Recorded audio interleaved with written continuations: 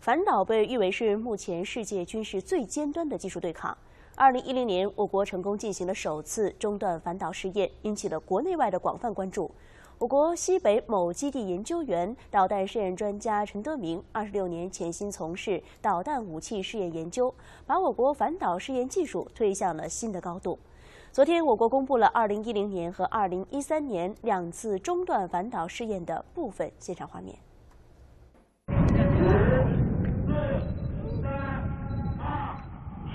这是我国首次中断反导拦截试验的现场画面。当导弹拦截发出的火光照亮西北夜空时，我军武器装备发展迈出了历史性的一步。反导是战略防御的尖盾，是大国博弈的重要筹码。有或没有，那是完全不一样的。反导被誉为目前世界军事最尖端的技术对抗。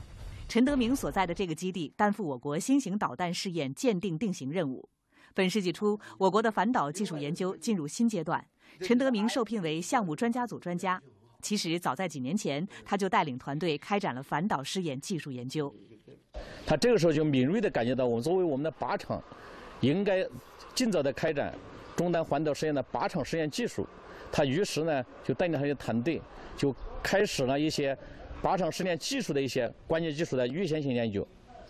除了组织各项关键性技术攻关，陈德明还明确提出，虽然是首次靶场试验，也要把实战作为首要目标。因为陈德明研究员呢，一直要求是，说你在靶场不能仅仅是解决立足于实验问题，说我们所有的研究都是。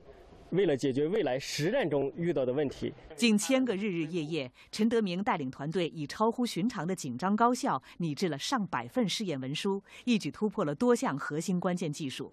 二零一三年一月二十七号，继首次陆基中段反导拦截试验成功之后，我国第二次中段反导拦截试验又取得成功。